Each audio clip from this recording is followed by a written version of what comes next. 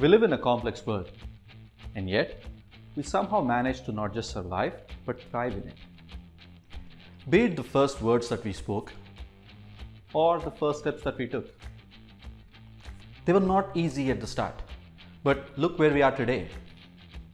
How did we do this?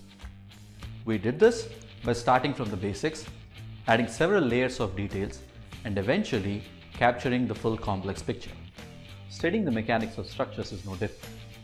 It has many components and each of which contribute to the overall response. In this learning track on capturing complex response and structural mechanics, we do just that. We'll start by learning the basics such as what is volumetric and deviatoric behavior and how is it used in engineering analysis. We'll further our knowledge in material behavior with courses such as linear elasticity, thermal expansion and metal plasticity. We'll also learn about physics behind contact interactions and how are they captured in numerical models. And finally, we'll discuss what is damping, what are the types of damping and how is it characterized. All these topics are packaged and presented in the form of video lectures, handout slides, real life examples, simulation examples. Wait, what? Yeah, we provide number of simulation examples that are relevant to the topic of discussion along with their model files. Nice. Yes, in fact, we also provide both written and video instructions for all the examples so one can follow and set up the models and learn more about the subjects.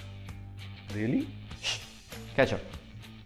And upon going through the course material, one can also finish carefully crafted homeworks and quizzes to test their knowledge. Wow, I think I should go check them out. Like I was saying, we have packaged and presented these topics in a way that you can get the best learning experience. Hi, I'm April, and I'm one of the lecturers for this course on capturing complex responses. Hi, I'm Sean, and welcome to the first step towards the advanced topics in mechanics of solids. And I'm Bhargava, another instructor for this learning track. Together, we invite you to enroll for this learning track on capturing complex response in structural mechanics. Do visit our website to discover more interesting courses and learning tracks.